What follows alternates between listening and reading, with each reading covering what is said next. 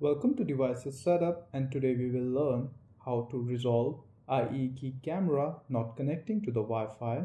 So some of these fixes has worked for many of the clients and might work for you too. So let's get started. First and foremost, the most basic and important one is to reboot your devices. So unplug your modem, your router and your camera from power for around 60 seconds and then plug them back in. Secondly, try placing the camera closer to the Wi-Fi router at location where you get strong Wi-Fi signals. If Wi-Fi connectivity is an issue, then we recommend you to either set up a Wi-Fi extender which will extend your Wi-Fi or you can also get mesh Wi-Fi system which will make sure you have strong Wi-Fi throughout your house.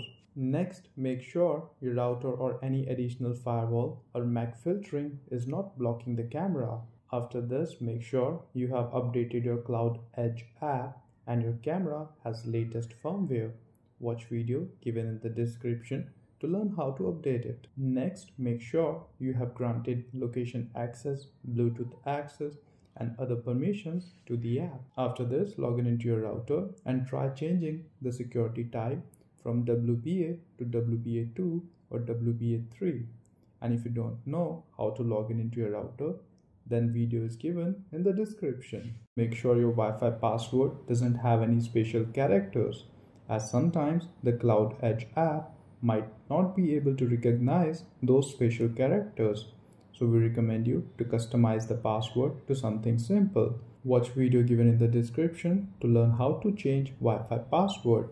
Moreover, if your network Wi-Fi SSID have any special character or extra spaces, then also try changing the SSID to something simple. Moreover, once logged in into your router's web management page, you can also try changing your router's 2.4 GHz channel to 1, 6, 9 or 11 and then try the setup again.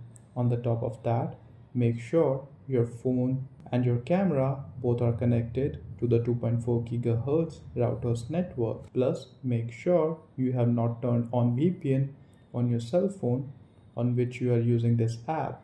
If it's active, then turn it off. Lastly, we recommend you to reset your camera and set it up again. And if you found this video helpful, then please do hit like and subscribe to support my efforts. Thank you.